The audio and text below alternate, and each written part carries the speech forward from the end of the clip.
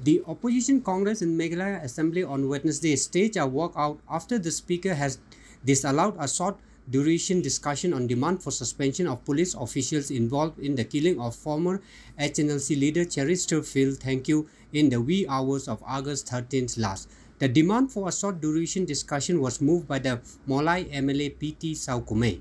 The Assembly Speaker disallowed the short duration discussion though it had been admitted to be taken up during ongoing autumn session. After receiving a letter from the state government referring to the advice of the Advocate General that the matter is sub judice. Leader of opposition Mukul Sangma on Wednesday questioned the state government for trying to protect the top police officials who are responsible for the alleged fake encounter of former HNLC leader Cheristerfield Thangkhiew on August 13 expressing his disappointment that the short duration discussion on the suspension of the top police official was not allowed in the House. He said the suspension of the top police official was important to pave way for free and impartial probe.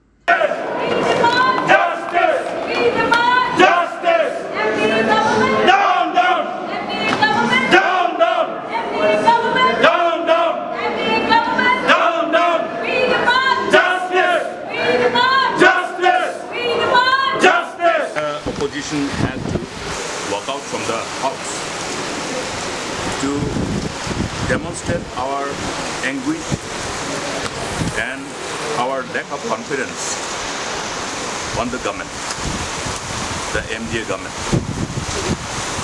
You will recall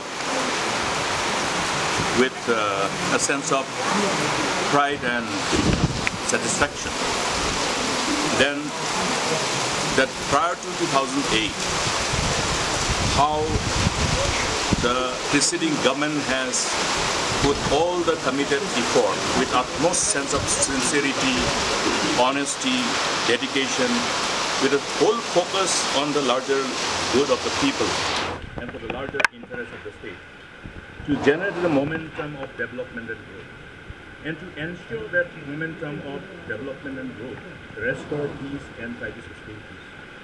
Today, unfortunately, all those hard work to restore peace and sustain peace, you have seen what is the prevailing situation across the state, whether it is in the state capital, whether it is in the district capitals, or whether it is in other parts of the state. The sense of insecurity prevailing, the whole instances of lawlessness, again, appearing in the state, threatening the hard-earned peace, which should have been sustained with a committed effort of the government. The irony is that the government of the day today not have the priority set to address this most important concern which revolves around the larger interests of the people, larger interests of the state. As the opposition wanted, the response of the government and the correct stand of the government in order to instill confidence and trust amongst the citizens of the state.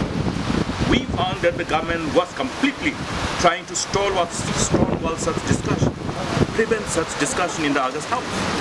You will appreciate the fact that in our vibrant democracy, when we are in session, it is the best platform where the elected representatives are able to articulate the concerns of the people the issues which is confronting our people on a daily basis, the issues which pose challenges towards our collective intent of joining hands in the whole story of progress and growth of the state.